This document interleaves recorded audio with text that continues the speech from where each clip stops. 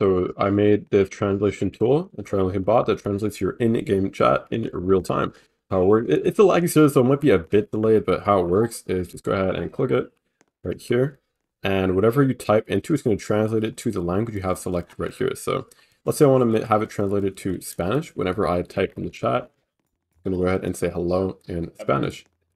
And if I go ahead and select any other language, like let's say Italian, say anything you want, it's going to translate it and automatically filters too. So if it doesn't go past, so if I do, let's say say something that it can't translate Discord, you know, it's not going to translate that. It's not going to work and it just does not translate well. So it has this filter and all that, but yeah, just, just works. So pretty cool. You can try it out right now in game for free. It's got to join the group like the game and all that. Yeah, so let me know what you think.